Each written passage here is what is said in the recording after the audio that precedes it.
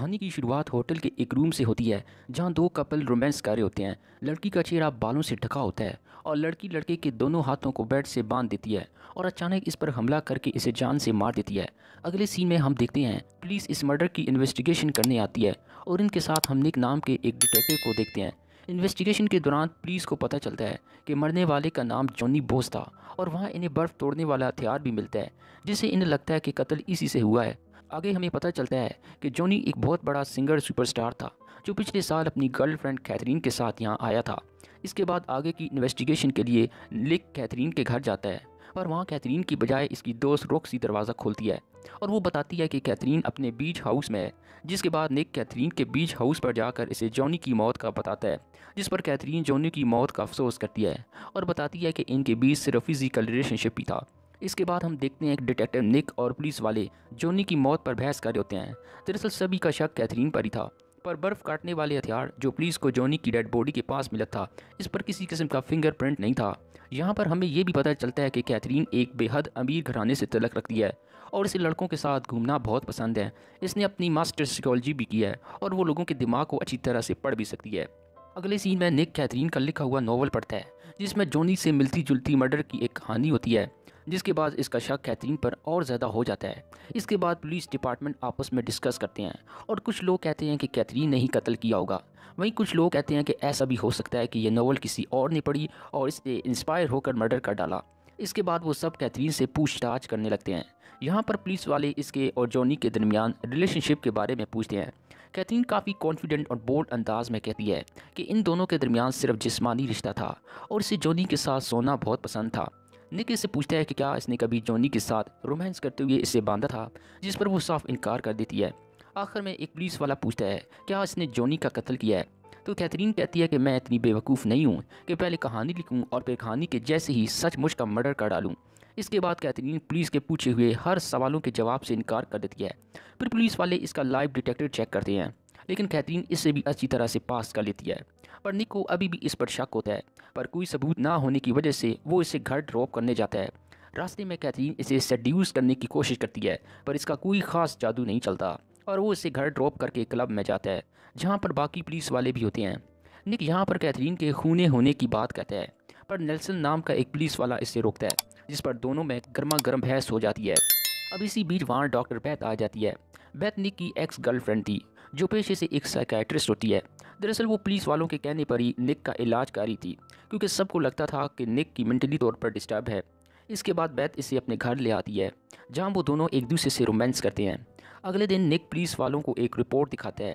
جس کے مطابق کیتھرین جس کالج میں پڑھتی تھی، وہاں پر ایک پروفیسر کی موت بھی جونی جیسی ہوئی تھی۔ آگے ہم دیکھتے ہیں جہاں نک کیتھرین کی کار کا پیچھا کرتے ہوئے ایک گھر کے پاس رکتا ہے، جہاں وہ دیکھتا ہے کہ کیتھرین ایک بوڑھی عورت کے ساتھ باہر آتی ہے اور پھر وہ اکیلی ہی گاڑی سے روانہ ہو جاتی ہے۔ اس کے بعد وہ اس کا پیچھا کرتا ہوا اس کے گھر تک پہنچ جاتا ہے، جہاں کیتھرین کپڑے بدل رہی تھی۔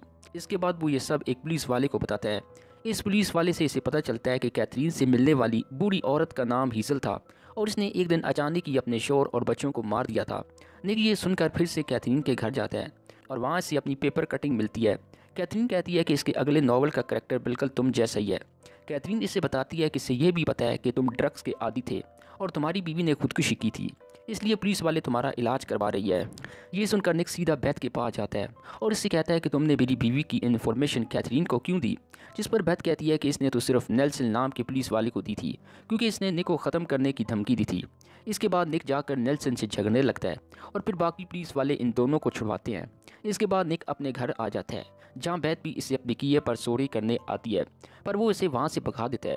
اس کے بعد نک کو فون پر پتہ چلتا ہے کہ نیلسن کو کسی نے گولی مار دیا ہے۔ اب کیونکہ نک اور نیلسن حال ہی میں کئی بار جھگڑ چکے تھے، تو سب کا شک نک پر چلا جاتا ہے۔ پولیس اس سے پوچھتی ہے کہ حادثے کے وقت تم کہاں تھی؟ تو وہ بتاتا ہے کہ وہ اپنے گھر ہی پر تھا، جس پر بیت بھی گواہی دیتی ہے۔ اب پولیس والوں کو لگتا ہے کہ نک کی اب دماغی حالت اور زیادہ بگڑ گئی ہے، تو وہ اسے کچھ دنوں کے لیے سسپینڈ کر دیتے ہیں۔ اس کے بعد نک اپنے گھر چلا جاتا ہے، جہاں کیتھرین پہلے سے باہر اس کا انتظار کری تھی۔ اب کیتھرین کو بھی پتہ چل گیا تھا کہ نک کو سسپینڈ کر دیا گیا جس کے بعد نک کیتھرین کے ساتھ ایک کلب میں جاتا ہے، جہاں وہ ایک دوسرے کے ساتھ ڈانس کرتے ہیں۔ اس کے بعد دونوں کمرے میں رومانس کرنے جاتے ہیں، جہاں کیتھرین نک کے ہاتھوں کو بیٹ سے باندھ دیتی ہے، جس پر نک کو جونی کا مرڈر یاد آنے لگتا ہے۔ اور اسے لگتا ہے کہ جیسے کیتھرین اسے مارنے والی ہے، پر ایسا کچھ نہیں ہوتا۔ اس کے بعد نک اور کیترین کے ریلیشن شپ سے روکسی کو بہت برا لگتا ہے اور وہ نک کو دھمکی دیتی ہے کہ وہ کیترین کو چھوڑ دے۔ مطلب صاف تھا کہ روکسی بھی کیترین کو پسند کرتی ہے، لیکن نک پر اس کی دھمکی کا کوئی اثر نہیں ہوتا اور وہ کیترین سے ملنا جلنا جاری رکھتا ہے، جس پر روکسی اسے اپنی کار سے مارنے کی کوشش کرتی ہے۔ اور اسی دوران روکسی کا ایکسیڈنٹ ہو جاتا ہے اور وہ اس حادثے میں ماری جاتی ہے۔ اس کے بعد کیترین کو بھی روکسی کی موت کا پتہ چل گیا تھا اور وہ کافی دکھی ہو جاتی ہے۔ کیترین نک کو بتاتی ہے کہ کالج میں بھی اس کی روکسی جیسی ایک دوست تھی، جس کا نام لیزا تھا۔ لیکن وہ اس پر دھیان نہیں دیتا اور کہتا ہے کہ ہو سکتا ہے کہ یہ سارے مرڈر روکسی نے ہی کیے ہوں تاکہ کوئی تمہارے قریب نہ آ سکے۔ پر کیترین یہ بات ماننے سے انکار کر دیتی ہے کہ روکسی نے اسے پھنسانے کے لیے جونی کا قتل کیا تھا، کیونکہ روکسی نے تو اس سے بہت پیار کرتی تھی۔ اگلے دن نک کو پتہ چلتا ہے کہ روکسی نے سولہ سال کی عمر میں اپنے ہی چھوٹے بہن بھائیوں کا قتل کیا تھا اور بچی ہونے کی وجہ سے یہ بات ریکارڈ میں شامل نہیں کی گئی تھی۔ اس کے بعد نک کیترین کی بچپن کی دوست لیزا کے بارے میں پتہ کرنے کی کوشش کرتا ہے، جہاں سے ایک شوکنگ بات پتہ چلتی ہے کہ ڈاکٹر بیتھی لیزا ہے، جس کے بعد وہ فوراً اس بارے میں بیت سے جا کر پوچھ تاچھ کرتا ہے۔ بیت کہتی ہے کہ کالج کے وقت اس کا اور کیترین کا آپس میں نجائز رشتہ تھا اور وہ یہ بات کسی کو بتانا نہیں چاہتی تھی، اس لیے اس نے اپنا نام بدل دیا اب نک کو لگتا ہے کہ سارے قتل بیت نے کیے ہیں۔ اس کے بعد نک کو اپنے ایک دوست کا فون آتا ہے اور نک اس کے ساتھ وہاں سے ایک ہوٹل میں جاتا ہے۔ کہ تبھی جب نک اندر جاتا ہے تو وہ دیکھتا ہے کہ اس کے دوست کا کسی نے مرڈر کر دیا ہے اور وہ بھی اسی برف توڑنے والے ہتھیار سے۔ اس کے بعد اسے موقع واردات پر بیت بھی دکھائی دیتی ہے۔ وہ اپنی جیب سے کچھ نکالنے والی ہوتی ہے، جس کی بنا پر نک اس پر گولی چلا کر اسے شوٹ کر دیتا ہے۔ پولیس کے پوچھنے پر نک بیان دیتا ہے۔ کہ اسے لگا تھا جیسے وہ گن نکال رہی ہو۔ پر پولیس کو بیت کے پاس کوئی گن نہیں ملتی۔ اس کے بعد پولیس کو پتہ چلتا ہے کہ نک کے فرینڈ کو کسی نے فیک کال کر کے اسے یہاں بلایا تھا۔ اور انہیں وہاں ایک گن اور وہی برف توڑنے والا ہتھیار بھی ملتا ہے، جس پر اب سب کو لگتا ہے جیسے یہ سب قتل بیت نے ہی کیے تھے۔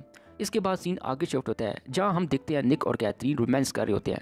اور اسی دوران کیترین بیڈ کے نیچے سے کچھ نکالنے کی کوشش کرنے لگتی ہے، پر وہ پھر اس سے رک جاتی ہے، جس پر ہم دیکھ پاتے ہیں۔ وہی برف کاٹنے والا ہتھیار، جس کا مطلب تھا کہ ان سب مرڈر کے پیچھے کیترین ہی ماسٹر مائنڈ ہے اور اسی کے ساتھ یہ مووی یہیں پر دی اینڈ ہو جاتی ہے۔